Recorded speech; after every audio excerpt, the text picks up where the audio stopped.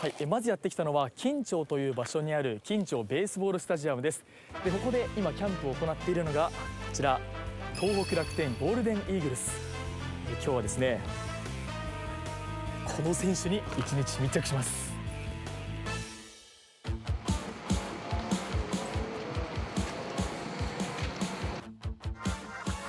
新潟市出身庄司康生投手。一昨年のドラフト会議で1位指名を受けると昨シーズンは5勝3敗と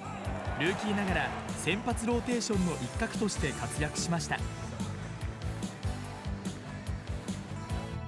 自分は今シーズン活躍するためにやるべきことをし、えー、に集中して取り組めてるなっていう感じですね。元メジャーリーガー田中将大選手らとともに練習に励んでいます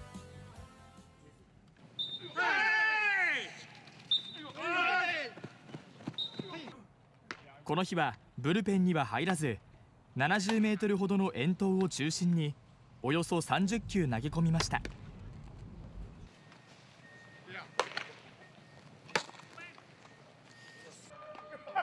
今年からチームを率いる今江監督も期待を寄せています。本当に期待してます、まあ、これから本当にチームを引っ張っていける投手陣を引っ張っていけるようなもう素質を持っているので、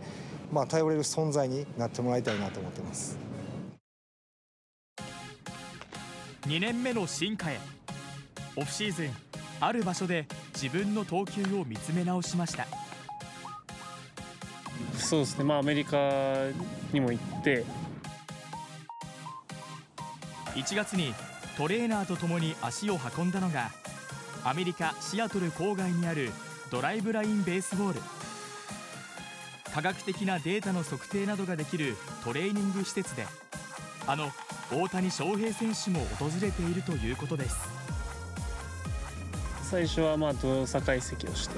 自分のフォームを見てもらってまあ課題も分かりましたしまあ良い良いところというか自分の特徴みたいなのがはっきりしたのでそれはすごいシーズンに生きてくるんじゃないかなっていうふうに思います。分析結果をもとにフォームを見直しました。今までは体の近くから通して小さくしならせるっていうイメージだったんですけどなるべく体から遠いところで最後だけ近づくイメージで投げるというか自分の感覚以上に球速が出たりとか球の勢いっていうのは変わってきましたね。NPB 通算114勝を誇る則本昂大選手も太鼓判を押します。それはずるいよ。ポテンシャルすごいあるんでもうこっちはもう羨ましいんですよね。まあキャッチャーの話を聞く限りものすごい球を投げてるっていう話なんでまあすごい楽しみですね。このキャンプ期間野球の練習以外にも大切にしている時間があります。